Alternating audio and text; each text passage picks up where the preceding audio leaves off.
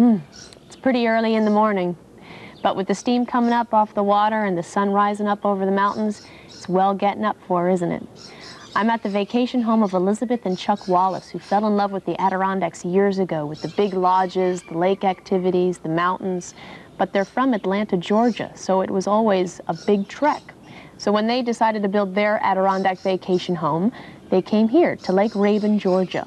And right now, there's a crispness in the air, the leaves are changing, and I can smell a fireplace. Winter's coming, and for me that means one thing, fattening up.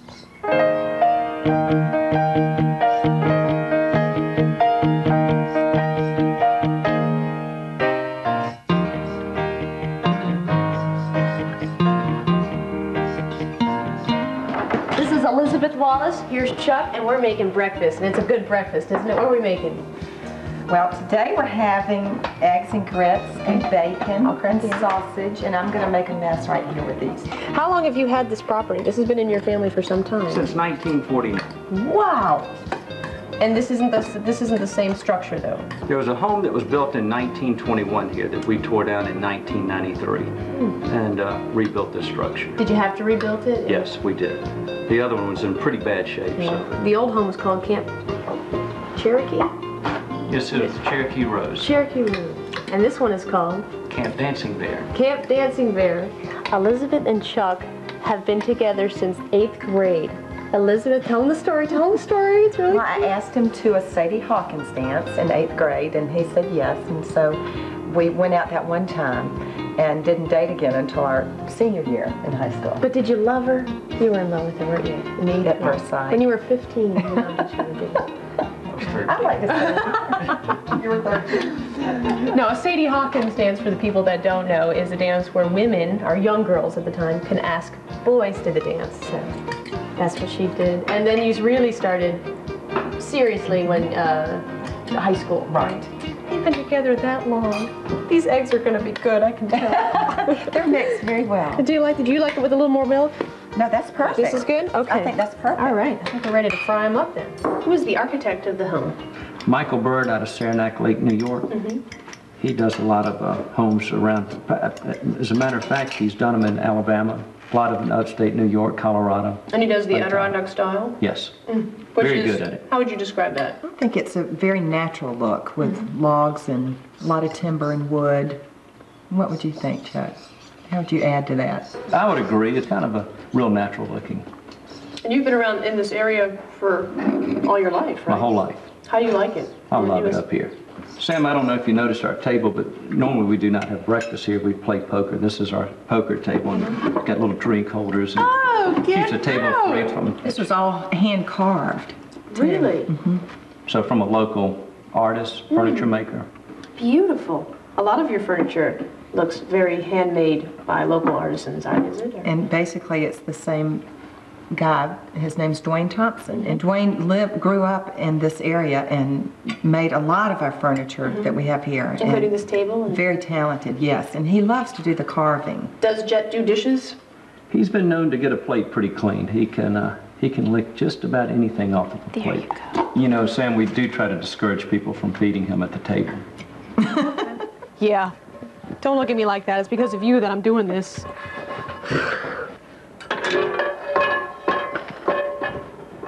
Elizabeth, why don't you show me around? Okay, I'd love to. Should we start here? Fireplace number one. We have the roaring fire. Oh, it really That's is just roaring. for you. What is that painting? This is a painting that we had done. Um, we found a picture up in the Adirondacks, and it was called The Dancing Bears.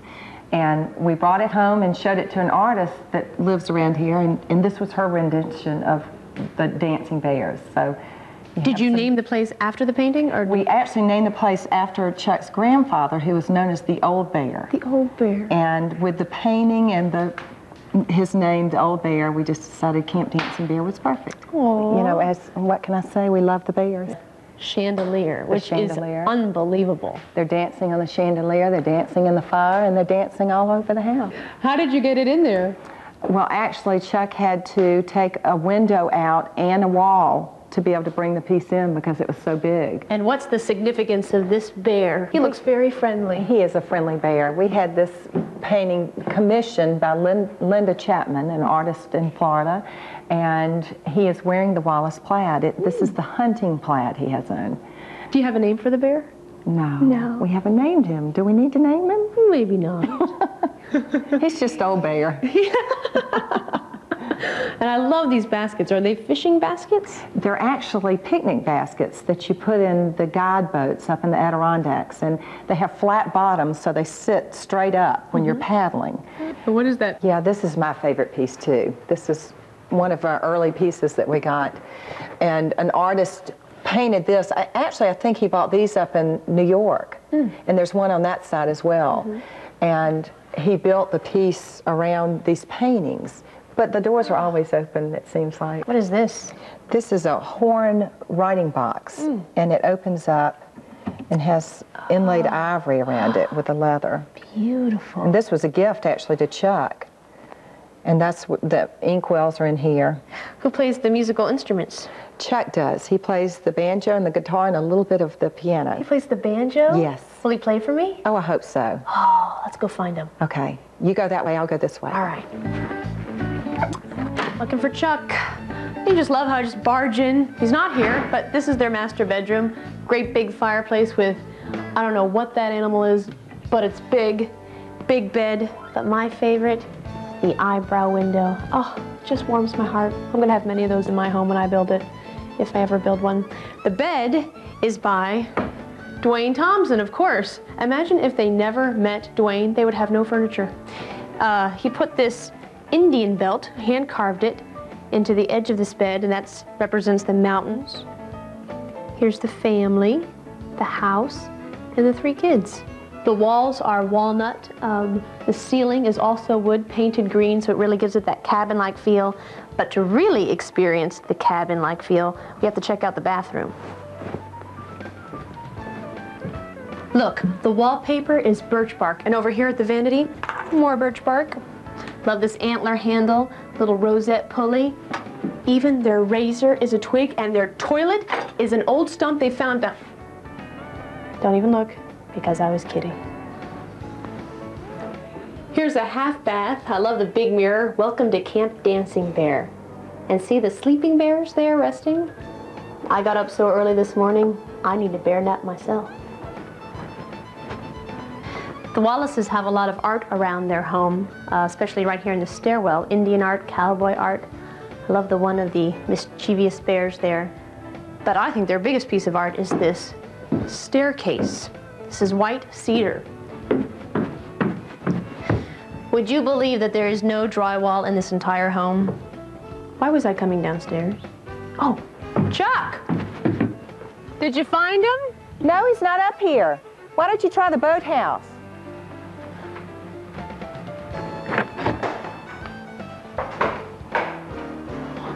These are wooden guide boats.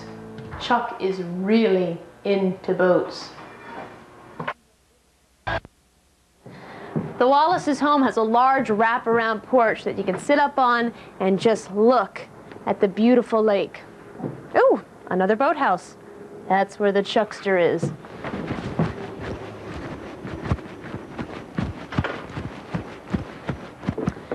Hey Chuck, could you play the banjo for me? How many boats does this man have? Whew, swanky. Oh, I hear him.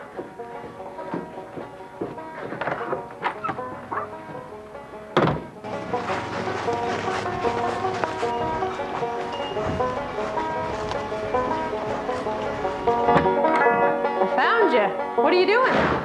Oh, cleaning up the boat. Really? How do you figure that? Well, Paris, how are we doing? Just fine. I'm almost finished. See? You know, I've never seen hardwood floors in a boathouse before. Well, we probably went a little bit overboard. At least my mother thinks so. But it makes it look sort of like a museum to show the boats better. Beautiful. You know, I don't know too much about boats, but I do know, I mean, or I have heard that um, you really should take them out. I mean, you know, they they really should be run, don't you think? I, I should definitely take them out. Would you like to go for a ride? I would love to. Should I get in this one? No, let's get in the other. Oh, It's ready. Paris is still working on this one.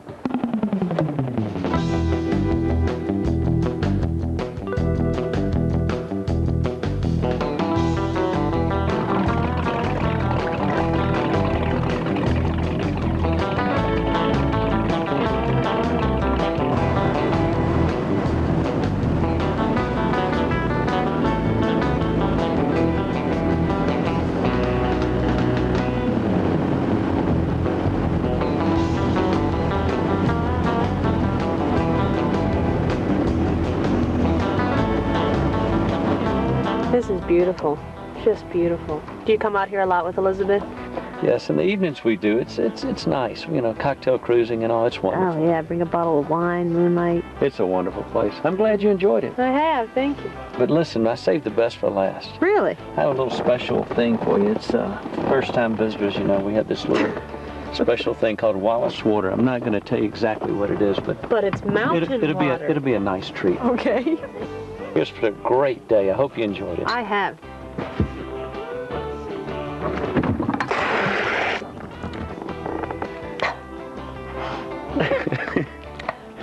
She spit right on the camera.